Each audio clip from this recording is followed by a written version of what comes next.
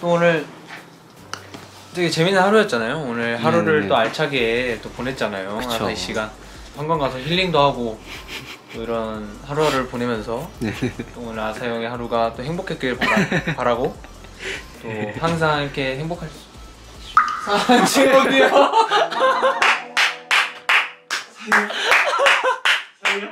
제가? 아니, 아니 지금 저 야. 마음을 줘야지. 아 이거 진짜 재밌는데. 어, 너뭐 상이 이뻐.